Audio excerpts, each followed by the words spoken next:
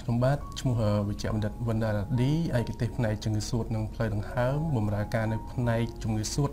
និងជំងឺទូទៅ2នៃមន្ទីរពេទ្យមិត្តភាពខ្មែរសូវៀត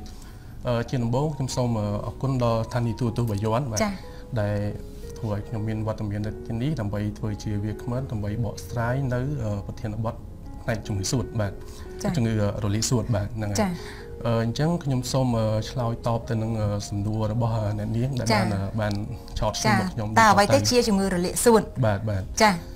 អឺជំងឺរលាកសួតបើយើងនិយាយចំទៅពាក្យថារលាកសួតគឺសំដៅទៅលើការរលាកទៅលើរចនាសម្ព័ន្ធរបស់សាច់សួតចានៅក្នុងរចនាសម្ព័ន្ធរបស់សាច់សួតខ្ញុំសូមលើករៀបរាប់បន្តិចដើម្បីឲ្យងាយស្រួលយល់ណាបាទរចនាសម្ព័ន្ធរបស់សាច់សួតគឺគេសំដៅទៅលើថងសួតទូចទូច ដែលនៅក្នុងសួតមួយចំហៀងមួយចំហៀងរបស់យើងហ្នឹងគឺមានថងសួតនោះប្រហែលជា300លានអញ្ចឹងនៅពេលដែលរលាកកន្លែងហ្នឹងគឺគេហៅថារលាកសួតបាទហើយដល់ពេលដែលរលាកកន្លែងហ្នឹងគឺធម្មតានៅក្នុងខ្យល់ហ្នឹងថងខ្យល់ហ្នឹងវាតែងតែមានខ្យល់នៅក្នុងហ្នឹងពេលយើងដកហើមចេញចូលទៅខ្យល់នៅក្នុងហ្នឹងអញ្ចឹងនៅពេលដែលវារលាកវានឹងធ្វើឲ្យមានទៅជាទឹកនៅក្នុងហ្នឹងឬក៏ខ្ទុះនៅក្នុងហ្នឹងដែលជាអឺអឺផលវិបាកធ្វើឲ្យអ្នកជំងឺគាត់មានរោគសញ្ញាមកហត់អកហើយនឹងក្តៅខ្លួនចា៎ អញ្ចឹងការរលាកបែបហ្នឹងហើយដែលគេហៅថារលាកសួតហើយយើងអាចមើលឃើញតាមរយៈការថត X-ray ថតសួតហ្នឹងយើងឃើញនៅលើ field គឺឃើញមានរូបភាពជារលាកសួតឲ្យយើងមើលឃើញជាក់ស្ដែងតែម្ដងហើយអឺជំងឺនេះបើនិយាយពីមូលហេតុដែលបង្កវាគឺភាគច្រើនច្រើនតែជាពពួកភ្នាក់ងារចម្លងរោគដូចជាពពួកបាក់តេរីពពួកមេរោគរបេងពពួកវីរុសពពួកសិតឬក៏ព្រូនមួយចំនួនក៏អាចបង្កដែរនឹងមានថ្នាំមួយចំនួនទៀត ដែលបងប្អូនយើងគាត់ទិញយកមកលេបខ្លួនឯងឬមិនបានទទួលវិជ្ជបញ្ជាពីគ្រូពេទ្យត្រឹមត្រូវយកទៅទិញអានោះក៏អាចលេបទៅក៏អាចធ្វើឲ្យរលាកសួតដែរអញ្ចឹងបាទហ្នឹងហើយខ្ញុំចង់ដឹងដែរត្រង់ចំណុចនេះបើនិយាយអំពីបញ្ហាសួតវាស្ដាប់ទៅដូចជាស្តៀងជាមួយនឹងជំងឺ Covid-19 ដែរតែវាដូចគ្នាដែរទេចាហ្នឹងហើយត្រង់ចំណុចនេះតាមពិតទៅជំងឺសួតជំងឺ Covid-19 នេះគឺ គឺគេសំដៅទៅលើជំងឺមួយប្រភេទដែលបង្កឡើងដោយសារតែការជាតិចូលនៅក្នុងខ្លួននៅវីរុសដែលមានឈ្មោះថា SARS-CoV-2 វីរុសប្រភេទនេះគឺពេលដែលវាចូលទៅវាមិនប្រកាសថាធ្វើឲ្យរលាកសួតគ្រប់ពេលទេអញ្ចឹងបានឃើញអ្នកដែលកើតកូវីដមួយចំនួនគាត់មិនរលាកសួតទេគាត់មិនមានរោគសញ្ញាហត់ធ្ងន់ធ្ងរអីទេគាត់តែក្តៅខ្លួនឈឺកតិចតួចក៏ជាទៅវិញអាហ្នឹងបានន័យថា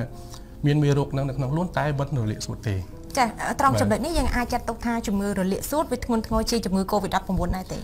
អឺតាមពិតទៅជំងឺ Covid-19 វាអាចធ្វើឲ្យរលាកសួតពេលដែលវារលាកសួតដោយ COVID-19 ភាគច្រើនគឺមិនសូវស្រាលទេអញ្ចឹងភាគច្រើនគឺធ្ងន់បាទប៉ុន្តែបើវាមិនឲ្យរលាកសួតទេគឺអ្នកជំងឺឆាប់ជាទេប៉ុន្តែដល់ពេលឲ្យរលាកសួតគឺអ្នកជំងឺធ្ងន់ហើយអាចនឹងសម្រាប់ពេទ្យយូរជួនកាលគាត់អាចនឹងបាត់បង់ជីវិតដោយសារជំងឺទាំងផងអញ្ចឹងសរុបសេចក្តីមកវិញទៅគឺជំងឺរលាកសួត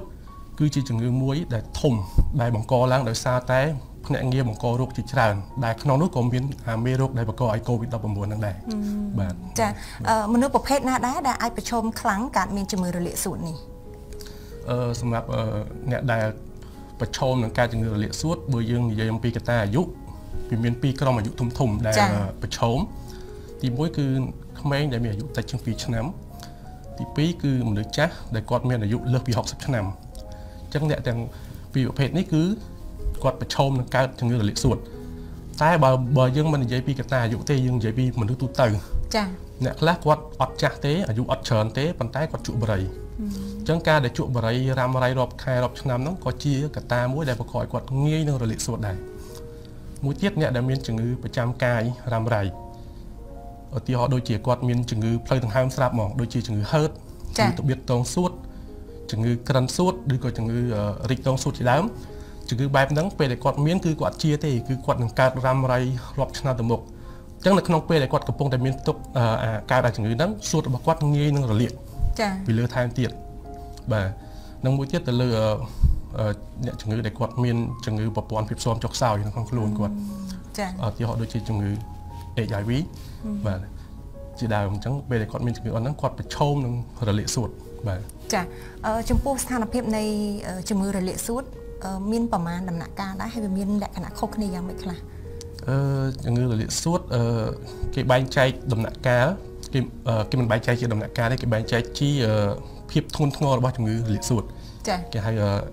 index the severity អញ្ចឹង index of severity ការ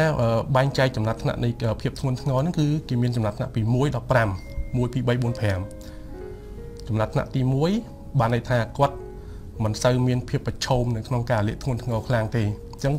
អត្រាដែលគាត់ប្រឈមនឹង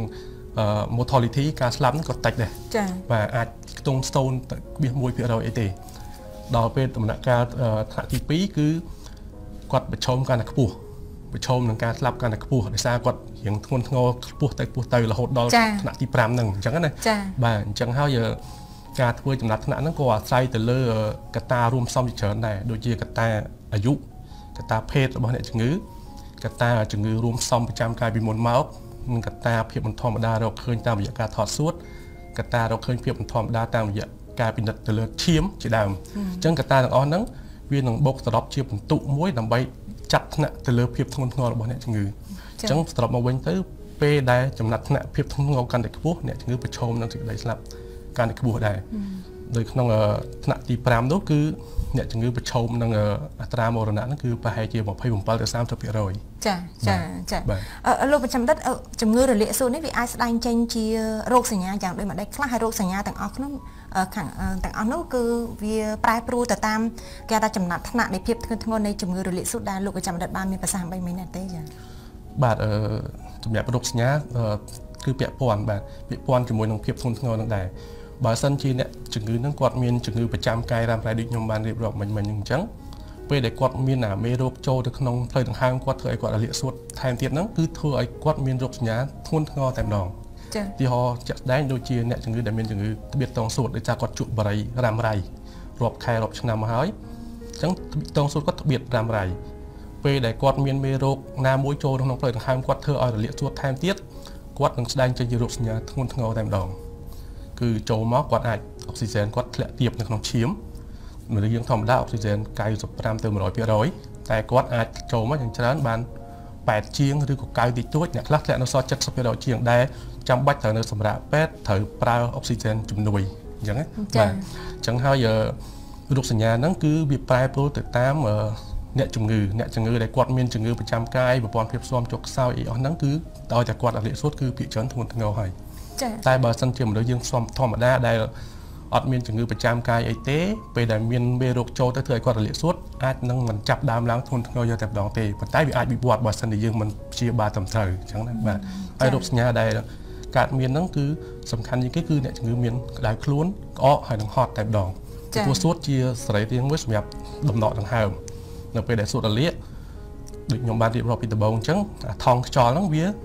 លែងអត់មានផ្ទុកខ្យល់បានវាទៅយកផ្ទុកទឹកទៅវិញឬក៏ខ្ទុះអញ្ចឹងអាខ្យល់ដែលចូលមកអត់មានកន្លែងចូលទេអញ្ចឹងវាធ្វើឲ្យអ្នកជំងឺខ្វះអុកស៊ីហ្សែនអញ្ចឹងគាត់នឹងស្ដែងជារោគសញ្ញាហត់បាទចានេះខ្ញុំចាប់អារម្មណ៍នៅចំណុចមួយដែលលោកប្រចាំដិតបានលើកឡើងថាមានគេហៅថាមនុស្សពីរប្រភេទដែលក្មេងដែលមានអាយុពី2ឆ្នាំឡើងហ្នឹងក៏ប្រឈមកើតមានជំងឺរលាកសួតហើយមនុស្សដែលមានវ័យចំណាស់ហ្នឹងក៏កើតជំងឺរលាកសួតដូចគ្នាប៉ុន្តែដល់ឡែកសម្រាប់មកក្មេងៗវិញព្រោះថានេះខ្ញុំធ្លាប់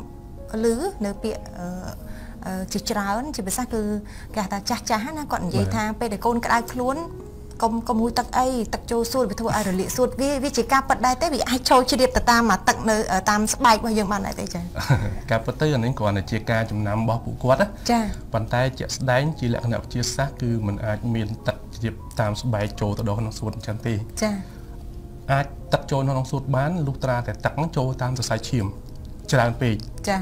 យកដូចអ្នកជំងឺយើងគាត់ឈឺអីតិចតួចគាត់ទៅពេទ្យទៅពេទ្យដាក់ស្រោមឲ្យគាត់ដាក់ច្រើនអញ្ចឹងណាចាច្រើនពេកគាត់ធ្វើឲ្យទឹកវាចាល់នៅក្នុងសរសៃឈាមពេលហ្នឹងសម្ពាធជាតិទឹកហ្នឹងវាច្រើនក្នុងសរសៃឈាមវាបង្កើតបានជាសម្ពាធមួយខ្ពស់វាអាចធ្វើឲ្យទឹកជ្រាបចេញពីក្នុងសរសៃឈាមចូលទៅក្នុងសរីរាង្គផ្សេងៗជាពិសេសចូលនៅក្នុងសួតបាទចូលទៅក្នុងស្រោមសួតអីជាដើមអញ្ចឹងបើការយល់ថា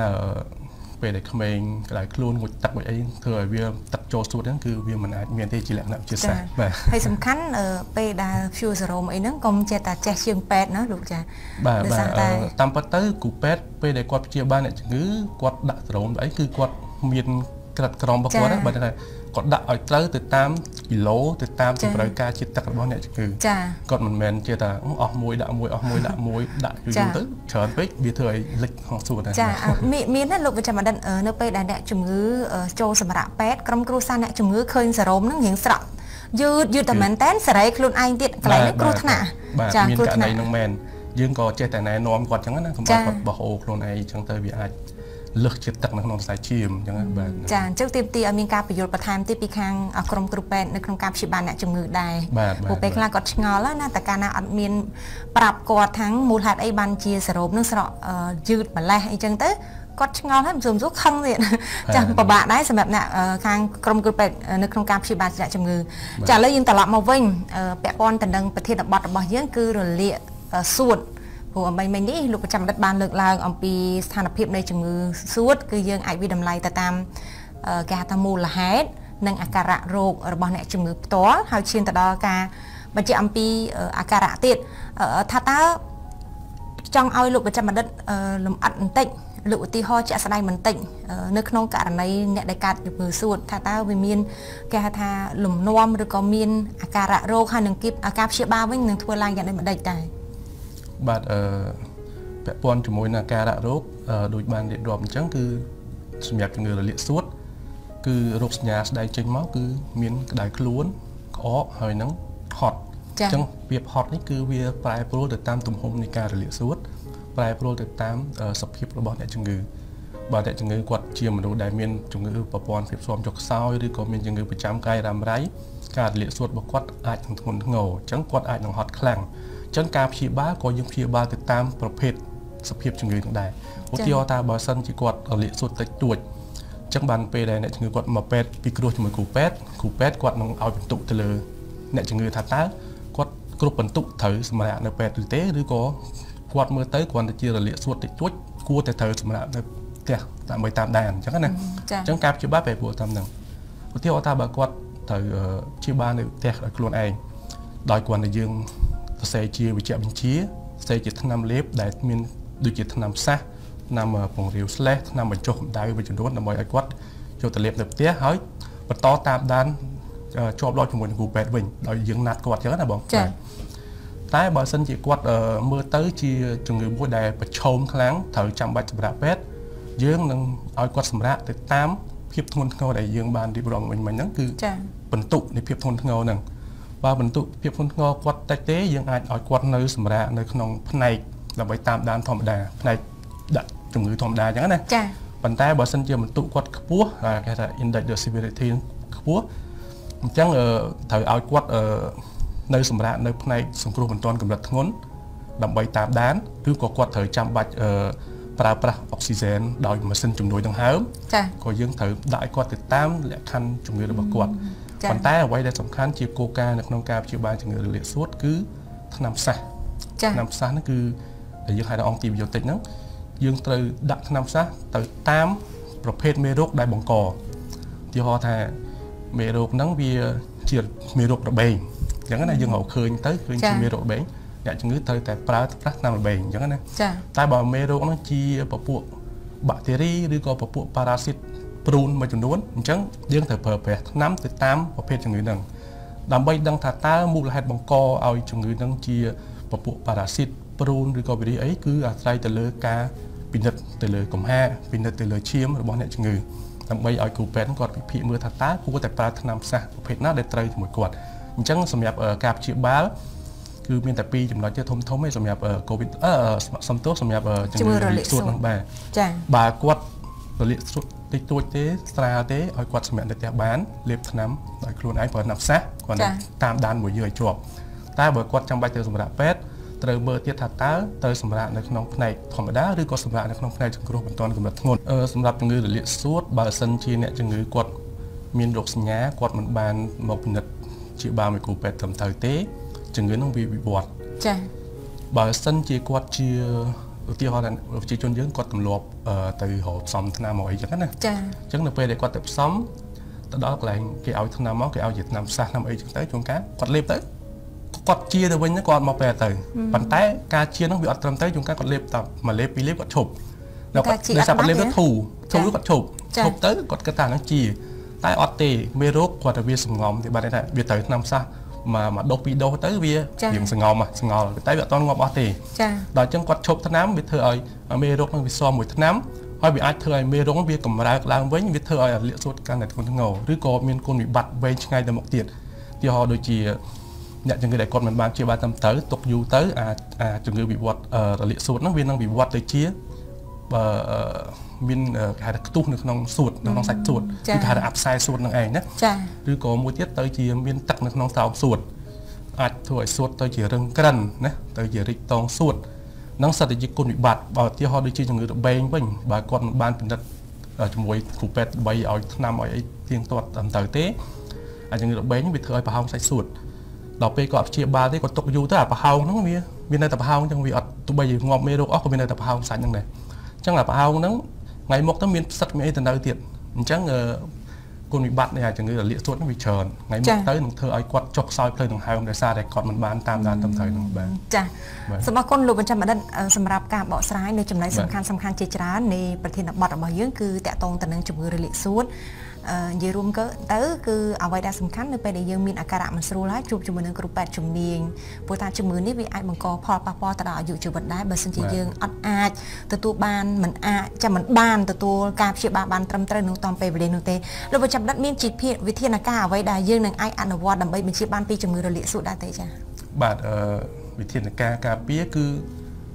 អឺបើយើងដឹងអំពីកត្តាប្រឈមចា៎អញ្ចឹងវិធានការការពារគឺស្រួលទេគឺយើងធ្វើម៉េច លុបបំបត្តិកត្តាប្រឈមប៉ុន្តែកត្តាប្រឈមខ្លះយើងលុបបំបត្តិអត់បានទេទីហោដូចជាអាយុយើងមិនអាចធ្វើឲ្យមនុស្សអាយុខ្លីអាយុកាន់តែតិចជាងមុនកុំឲ្យប្រឈមទេចា៎អញ្ចឹងបើសម្រាប់អ្នកដែលគាត់មានកត្តាអាយុមួយដែលប្រឈមដូចជាមនុស្សចាស់ដែលគាត់អាយុលើសពី60អីចឹងចា៎គាត់ប្រឈមខ្លាំងចឹងគួរតែចាក់វ៉ាក់សាំងណាហៅវ៉ាក់សាំងចាក់វ៉ាក់សាំងការពារជំងឺផ្ដាសាយឬក៏ការពារជំងឺបាក់តេរីមួយយ៉ាងដែលមានឈ្មោះថាភ្នើមកុកចា៎ពីព្រោះថា អាលៀកសួតហ្នឹងគឺពាក្យច្រើនច្រើនតែបង្កឡើងដោយពួកបាក់តេរីដែលមានឈ្មោះថាភ្នើមកុកហ្នឹងឯង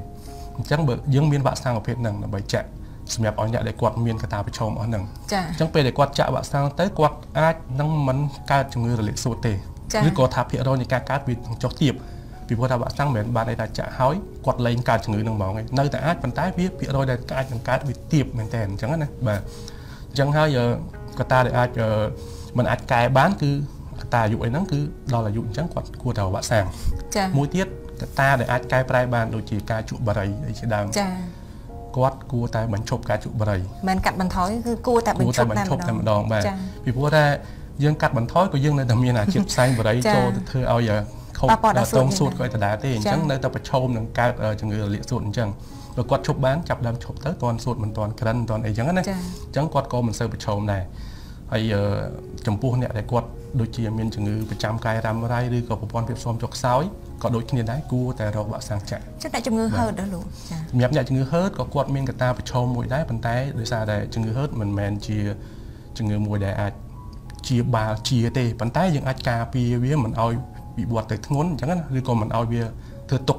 ញាប់ពេកបាទអញ្ចឹងបើកាលណាយើងគ្រប់គ្រងវាបានវាមិនអាចឈានទៅដល់ការរលាកសួតទេបាទបាទបើយើងគ្រប់គ្រងជាបាលវាត្រឹមត្រូវហើយយើងបានចាក់វ៉ាក់សាំងការពារជំងឺផ្ដាសាយនិងជំងឺពនៅមកុកនឹងត្រឹមត្រូវគាត់ក៏មិនអាចប្រឈមនឹងការរលាកសួតចាខ្លាំងពេកដែរបាទចាបាទអឺខ្ញុំមានសារបន្តិចតួចដើម្បីផ្ដាំផ្ញើជូនពុកម៉ែបងប្អូនទាំងអស់គ្នាដើម្បីឲ្យគាត់អនុវត្ត ដើម្បីការពារខ្លួនគាត់កុំឲ្យប្រឈមនឹងកើតជំងឺរលាកសួតហ្នឹងគឺទី1ដូចខ្ញុំបានបកស្រាយជាមួយអ្នកនាងសុធារីអញ្ចឹងគឺគាត់មានកត្តាប្រឈមទាំងអស់ហ្នឹងគួរតែចាក់វ៉ាក់សាំងទៅបាទហើយមួយទៀតអាហ្នឹងជាវ៉ាក់សាំងផ្ដាសាយនិងវ៉ាក់សាំងការពារជំងឺរលាកសួតហ្នឹងចា៎ប៉ុន្តែឥឡូវនេះ